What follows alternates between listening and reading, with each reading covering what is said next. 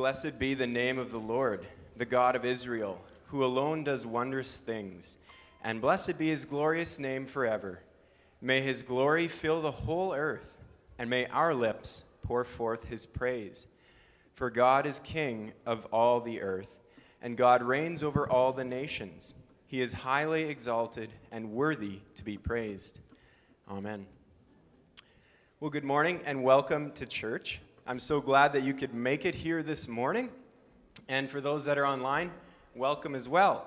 Um, it's our first snow of the year, so that's exciting um, if you're a kid.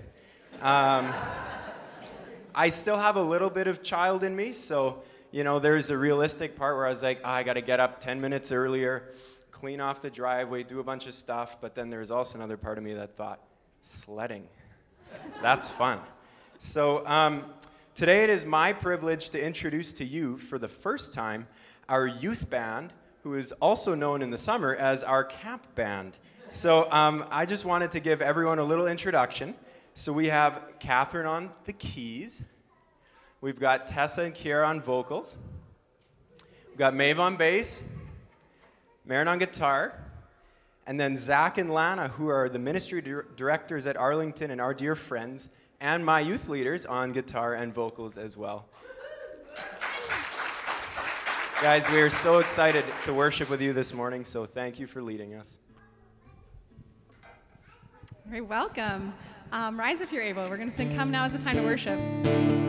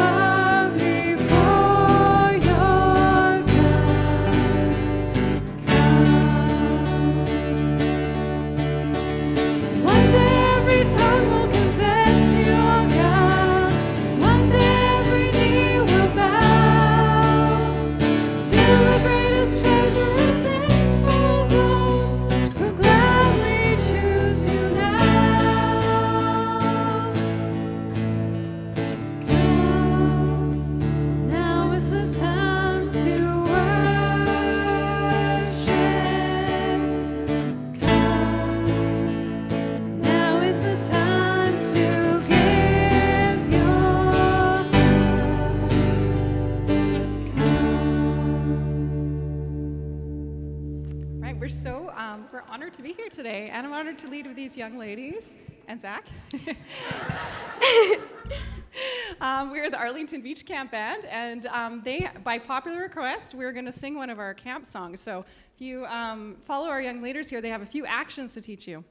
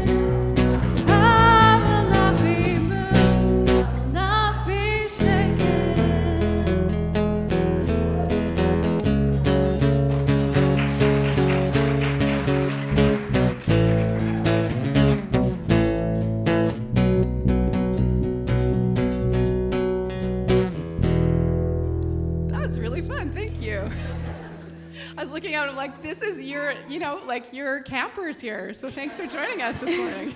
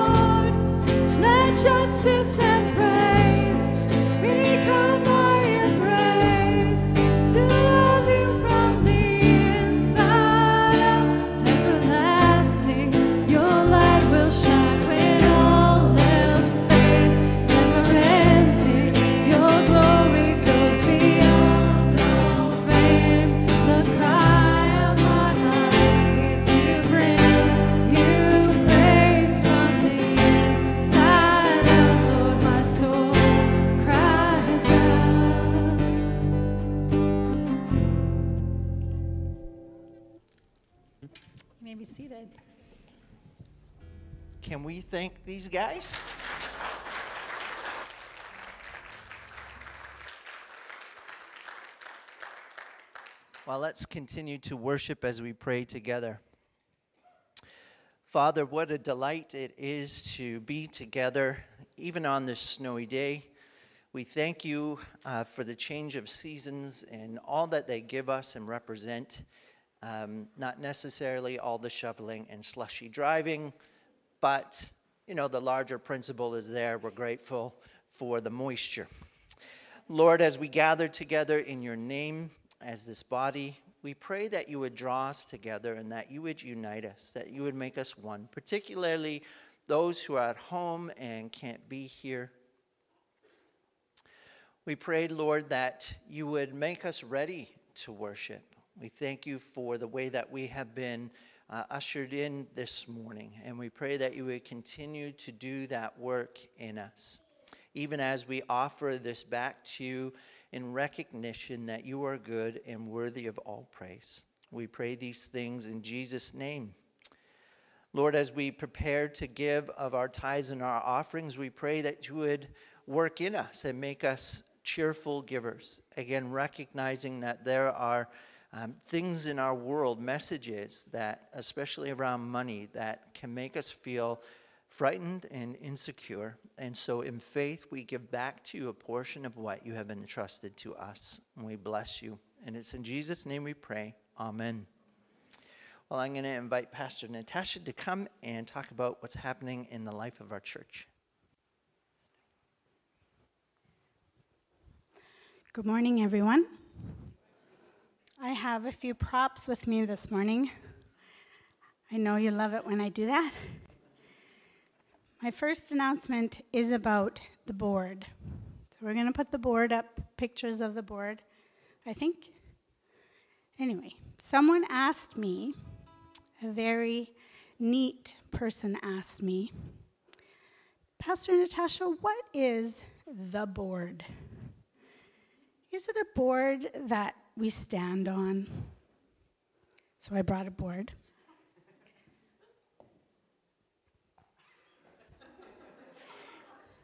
No, it is not a board that we stand on, but we do call it the board. It is a group of people that make important decisions for the church. And every once in a while, these people um, have had their time um, come up on the board, and so it's time to put their names forward for um, going on the board. And so the congregation has a responsibility to look around them, to pray, say, oh, that person might be an important person to have on the board.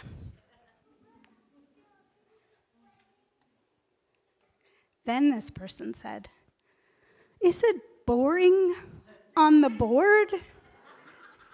and I said, Well, maybe you could ask some of these board members here if it's boring on the board.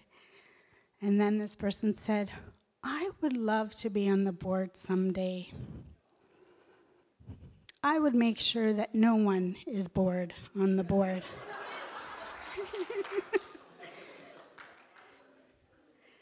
if you are new to Northview, we want to welcome you and help you get connected into the community. So we're having a welcome event on the evening of Thursday, October 27th. That's coming up from 7 to 8:30. Also this week on Saturday, October 29th, there's a ladies spa day. How come I can see it here but not up there? Anyway, we are planning to drive to Moose Jaw and have lunch at Deja Vu Cafe and then have a relaxing swim at the Temple Gardens Mineral Spa. I'm sure, guys, there will be something special for you too down the road, but this will be a wonderful time for connection, relaxation together as ladies at Northview. There's a sign up sheet in the back so we know how many ladies to expect for lunch.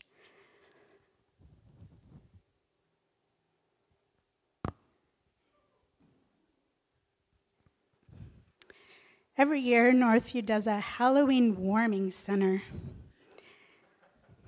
to provide a warm and safe place for our neighbors to come. We are looking for donations of candy, chips, and chocolate bars to hand out um, uh, treats that night. And Lloyd, Lloyd, put your hand up over there. He is also looking for three or four people who would like to help him host this event. I might even let you wear these. So, thank you.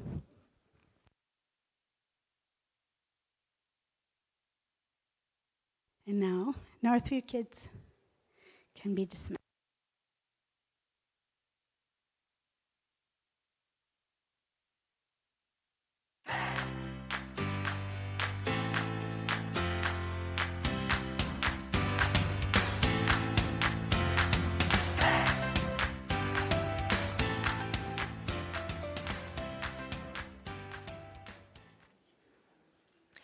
This morning I'll be reading to you from the book of Romans, chapter 12, verses 1 and 2. Therefore, I urge you, brothers, in view of God's mercy, to offer your bodies as living sacrifices, holy and pleasing to God. This is your spiritual act of worship. Do not conform any longer to the pattern of this world, but be transformed by the renewing of your mind. Then you will be able to test and approve what God's will is his good, pleasing, and perfect will. This is the word of God.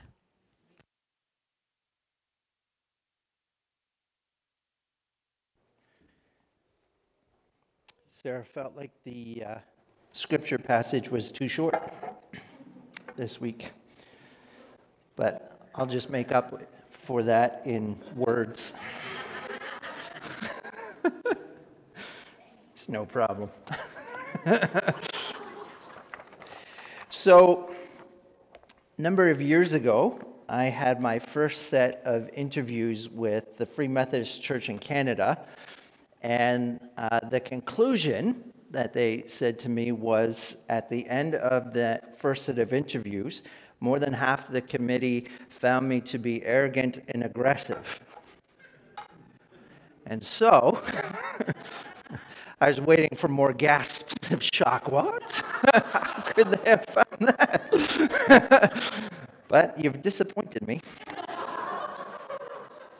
Um, so they put me on hold for a year while I did some important work.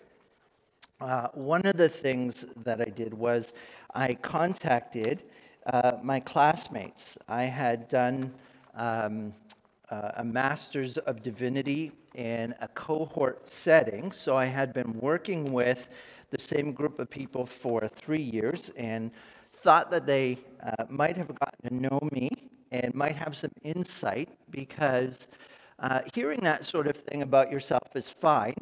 Um, and they weren't wrong. It wasn't the first time that I'd heard that kind of thing about myself, but I could never really understand it because I don't have a view of myself, right? I'm, I'm the insider.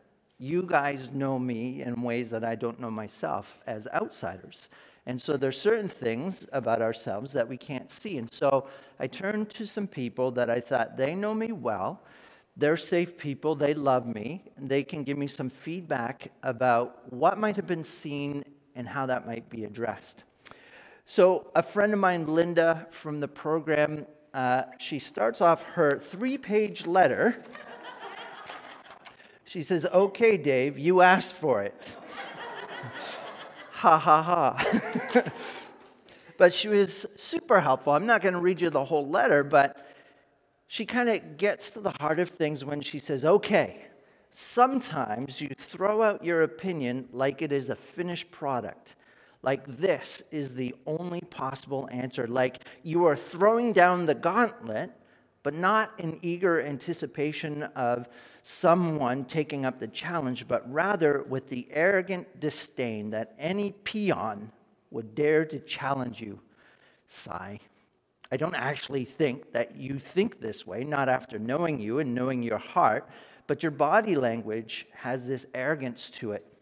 Sometimes I think you are surprised that you think you are starting a dialogue in class but then one of our classmates is the only one that takes you up on it. Hmm, how to do, how, sorry, how to describe this?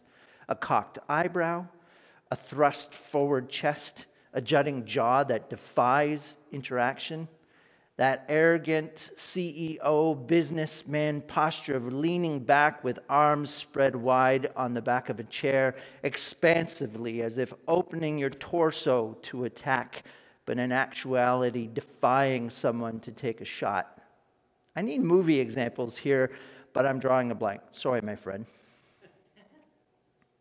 She goes on in that vein for a couple of pages. She's really a friend. and then she finishes with this. She says, Question Are you a visual learner? Maybe you need to pick some role models, even movies, where the guy is strong but not arrogant. Have Sarah help you pick a good one. And then imitate that. Because you are good at imitating, and let's face it, you are good at Jack Nicholson's You Can't Handle the Truth. but maybe you need to work on imitating someone else.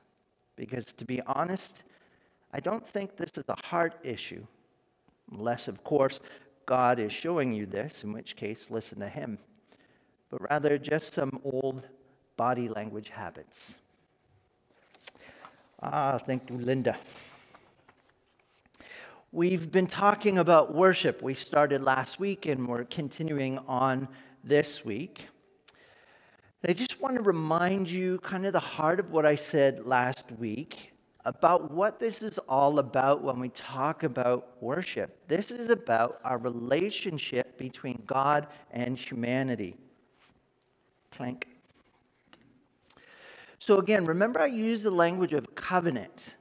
God has created or established a covenant as he does this creative act of making creation, making something other than himself. He doesn't just do that cold, he does that for a purpose because he wants his love to overflow to something that is other than himself. He wants to be loved and to be loving. And so, this is, of course, a two way relationship because that's what defines a relationship. Um, and so, his direction is the life giving to us, his life extended to us that we participate in. And then our participation is living in obedience or living with the grain of that life. That is worship. At the heart, that's what it's all about. Remember last week when we did Israel's the Shema? Hear, O Israel, the Lord your God is one, and you shall worship the Lord your God with all your heart, mind, strength, soul. Well, of course, we know that there's a problem historically, that there are issues in this relationship, right? Humanity has actually distrusted God. So the invitation is there, but right at the very beginning of the story, we have that serpent that enters into the garden and actually denies what God says. You will not surely die if you eat of that fruit. And the human couple, looking at the fruit, seeing that it was good and good for food, takes it and eats it. And in that moment, this is their disobedience. They're deciding for themselves that they cannot trust God that they, in fact, need to take God's place and determine for themselves what is good, and they take of that fruit. And so there's this rejection. Well, the Apostle Paul picks that up in the beginning of Romans when he describes the human situation, both Gentiles, the nations, as well as Israel in the same camp. The end of the day, or the summary is that humanity generally has distrusted and rejected God, replacing him with idols that we can control, we can make demands of, and get a response from. And Paul goes on to say it's because of this wholesale rejection of humanity, of God, humanity of God, is that humanity is deserving of death. So again, this isn't God has set some arbitrary rules. I sure can.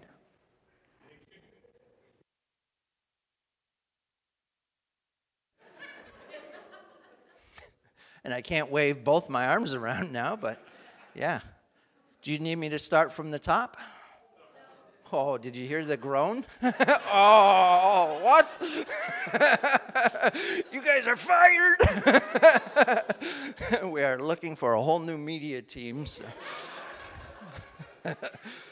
okay, where'd I finish? What'd I say? All right.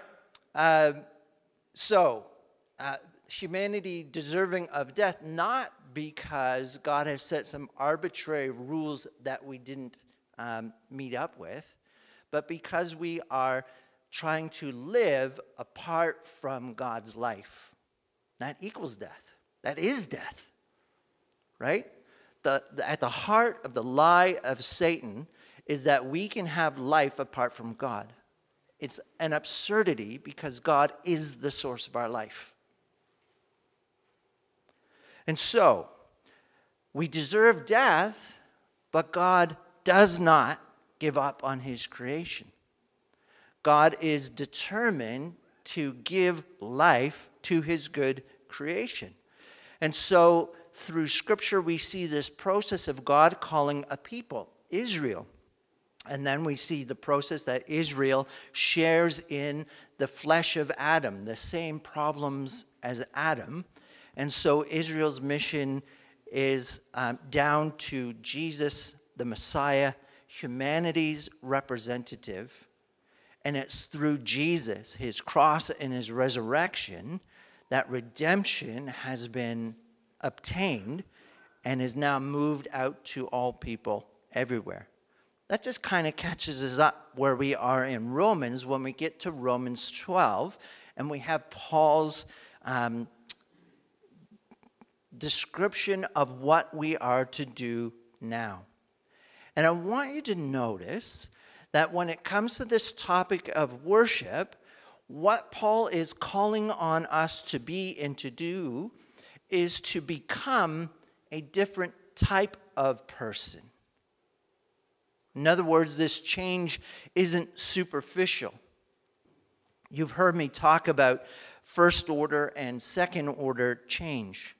First order change is that superficial change, right? If you're watching a basketball game and one player leaves and another player comes on and takes the ball and puts it in the hoop, you're watching the same game.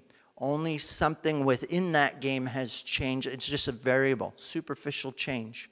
But if you're watching the basketball game and suddenly a hockey player comes skating out and slaps the puck into the net, that is a second order change. You're no longer watching basketball, you're now watching hockey. That is a much deeper, fundamental, game changing kind of change. And so that's what we're talking about. We're not looking for superficial things, we're looking for this deep DNA heart change. So this isn't about becoming more religious, adding a few more prayers, reading a little bit more scripture, uh, things like that. We are talking about this giving up of self. And so that's why the Apostle Paul starts out by saying, Make yourself a living sacrifice. In other words, crawl on up onto the altar. You see, Israel was called to offer different sacrifices at different times in order to cover different things, different types of sins, different seasons in their year. And all of that was to maintain this right relationship with God. But we have been called not to offer sacrifices because Jesus is our sacrifice. There's nothing that we can add to that. Instead, being found in Christ Jesus, we are called to share in his sacrifice, not through our actual death, but through our actual life, living as if the old was dead and the new has come. So I want to do this exercise. The Apostle Paul, in the beginning of Romans, introduces himself because this is not his congregation of churches. And so he starts off his letter and he says, Paul, a servant of Christ Jesus, called to be an apostle and set apart for the gospel of God. So, as we begin to think about this transformation, this different type of person, Paul doesn't do just uh, adding a new religious element. Everything in the past is now gone, and he has been established as a new person. That's our same boat. So I want to invite you to say this very same thing about yourself as an exercise. Put in your name. So I would say, David, a servant. Um, the actual word there is far more towards slave. Uh, and Paul does talk that way about himself. We were once slave to sins, now we're slave to Christ Jesus. So if you're very brave, you can use the word slave rather than uh, servant. So your name, David, a slave of Christ Jesus, called to be a pastor. You just talk about what you have called to be, whether that is an accountant or um, a stay at home dad or whatever it is. Um, and then finish off with set apart for the gospel of God. Okay, one, two, three, go.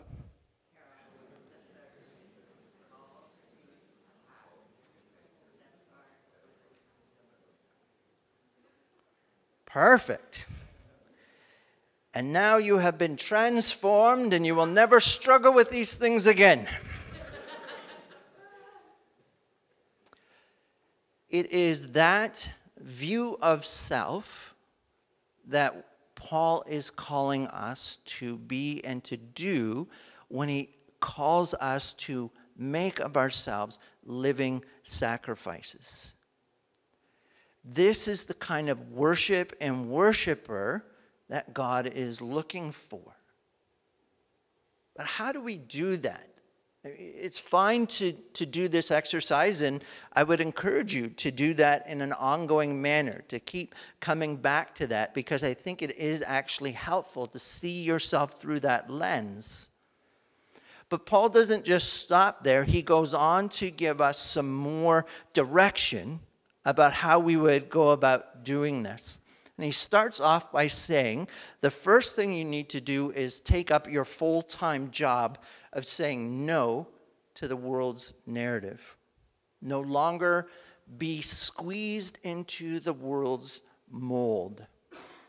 And here I think uh, I want to talk about worldview and worldview questions.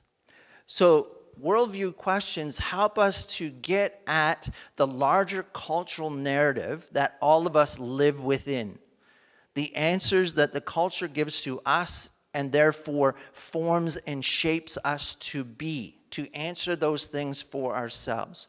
So there's four questions that get answered by any narrative.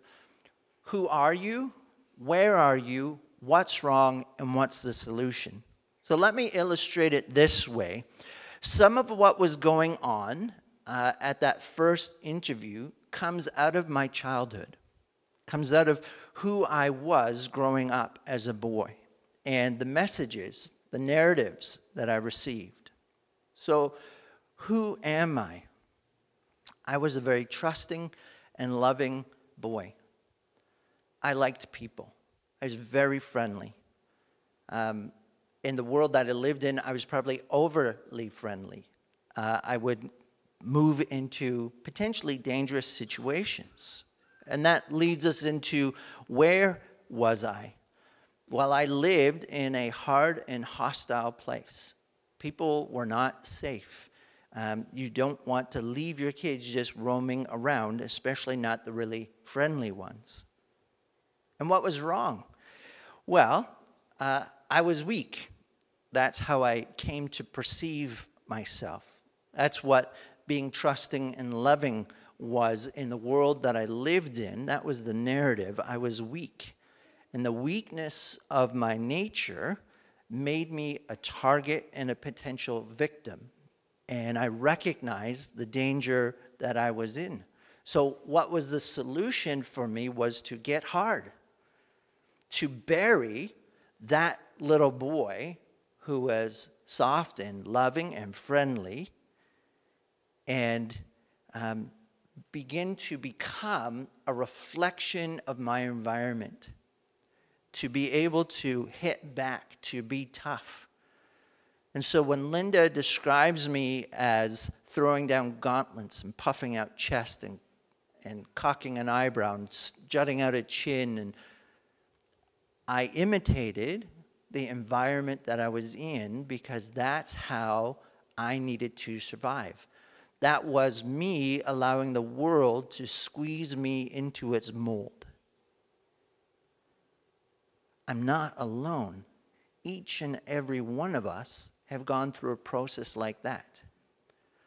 The world answers these questions for us. It conforms us and, and molds us and pushes us to answer it in a certain way. Paul recognizes that in his culture, that that's true. There are tons of narratives all the time. We are bombarded. Every time we watch a commercial driving down the road on the way to church, on the radio, on TV, on social media, through talking with friends, through just general conversation, we are always being pushed and shaped and squeezed into the world's mold. Paul says we need to be aware of that and we need to say no to that process of being squeezed because that needs to be escaped. As much as I needed to escape in order to become who I needed to become to be a good pastor. And this is why the gospel is such great news. This is why Paul says now, at the end of his theological discourse about Jesus, why he could call for us all to become living sacrifices. Because the cross reveals the lie that the culture tells us that God is not trustworthy, that he does not want good things for us. The cross is that place in history nailed into the ground that marks out forever that God loves us. And He gives everything to demonstrate that right at the very moment that we declared to Him, We hate you. When we nail Jesus to the cross, that is humanity's ultimate rejection of God. And it's at that very moment that God's love for us is expressed most fully the same place. And so it's this alternative story. And that's the next thing that Paul moves into is not only say no to the world's narrative and not be squeezed into that mold, but be transformed through the renewal of your mind. Now, I use this example a lot, and I always preface it this way I don't know if this is true. I may be telling you something that is completely false, but it works as an illustration. So I'm going to say it, but if you contact the FBI and they tell you something differently, I was up front with you, okay? So I, I swear I heard as a kid a sermon illustration that when the FBI trained their agents to detect counterfeit money, what they do is they have their agents handle real money for weeks on end. Just handling it, moving it, piling it, touching it. And after a couple of weeks of this handling, constant handling of the real money, they'll slip in a counterfeit and boom, the agent is able to recognize the counterfeit immediately through not through a thought out process but because they are just so familiar with the real thing that they can detect the counterfeit that is what Paul is calling us to do in this renewal of our mind. You see, the world is our source, right? When we reject God, the world becomes our source, and it is always handing us its narratives. This is who you are. This is what it's about. This is what you need to do and to be in order to survive, in order to have the good life. This is what you've got to do. Now, in Christ Jesus, we have this new source this alternative narrative that actually sets us free, actually will give us the life that the world wants to promise us but can't deliver on. The true narrative. And so just like those FBI agents, we need to always be in this story. We need to be going through this story again and again and again and again. We need to keep coming back to it and coming back to it again because we are bombarded. We have to figure out ways in order to make this story that is at the very heart and the center of history and is the most real, most true thing about us our new story, and it has to outweigh the stories that you're going to see on your way home today, that you're going to see on your television screens today, that you're going to hear from neighbors today, that is in the very atmosphere that we walk around every moment of every day. It has to outweigh it. And so we have to keep coming back to it.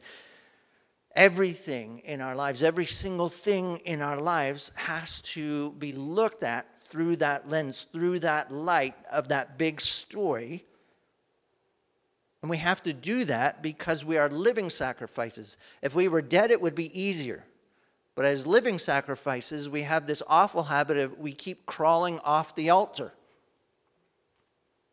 And so, part of the process that Paul is calling us to is to just keep getting back onto the altar and laying down. And when we give up ourselves, when we give up these false narratives that the world wants to offer us, and when we give up the promises that the world extends to us, well, then we are able to actually worship God in obedience, to live with the flow of His life that He's giving to us.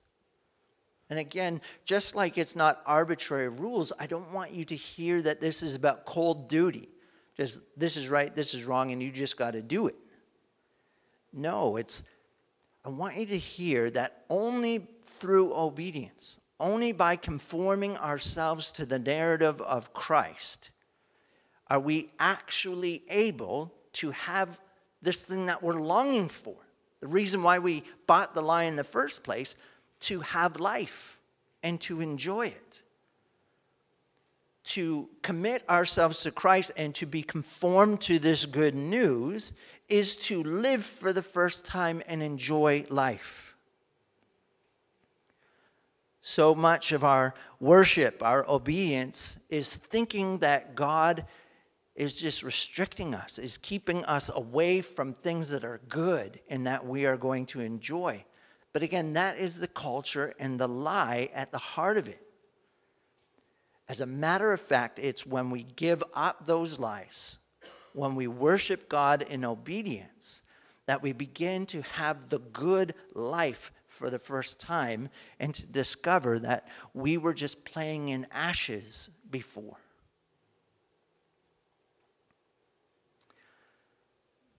Well, as I struggled with being a person who is arrogant and can be aggressive. I should introduce you to my family sometimes.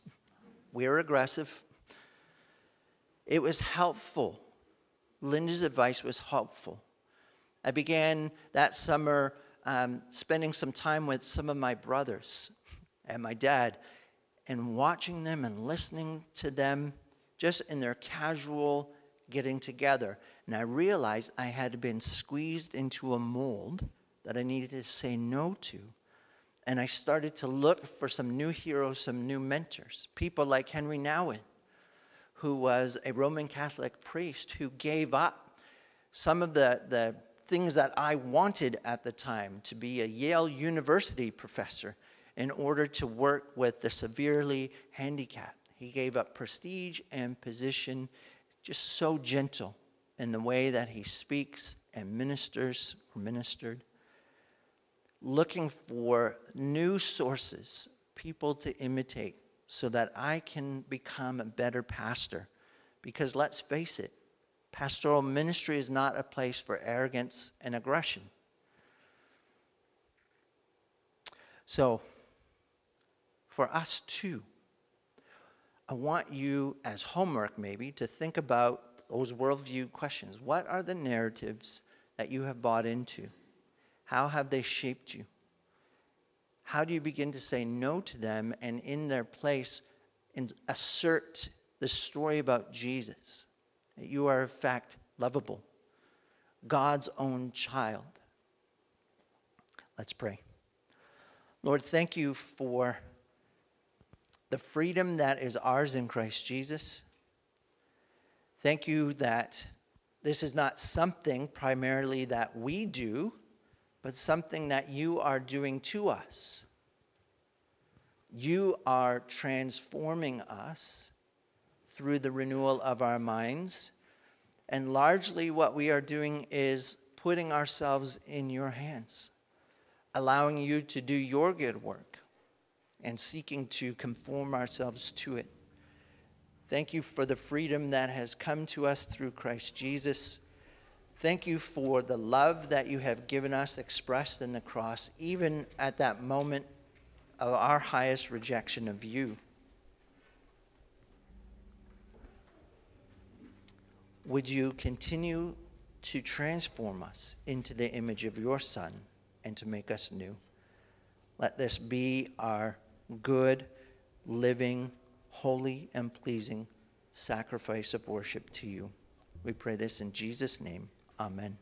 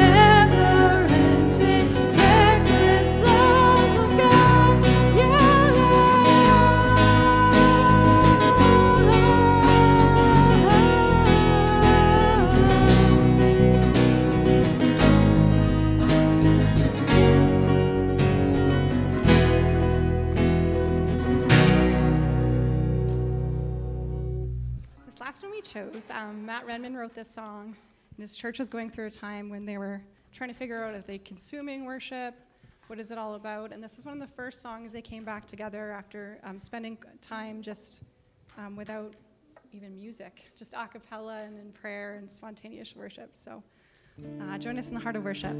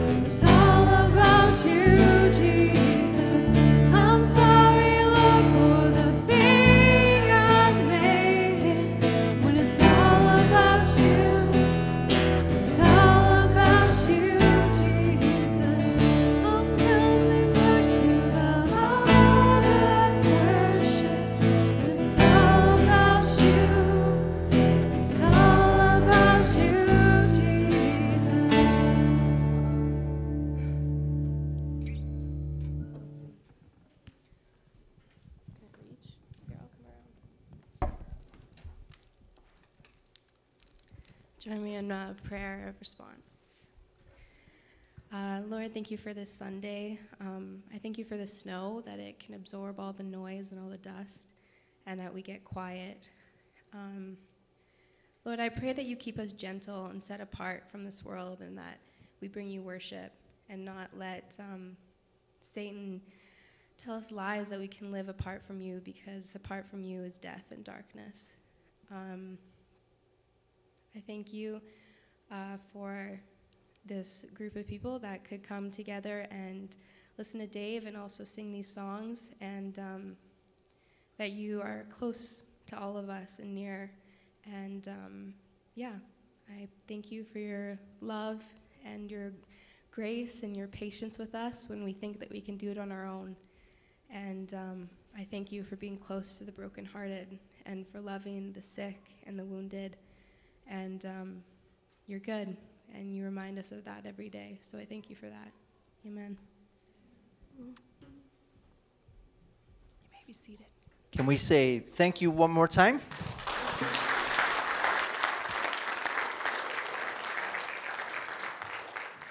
And now we know who plays and who sings and who prays, so it's all going to look different from here on out.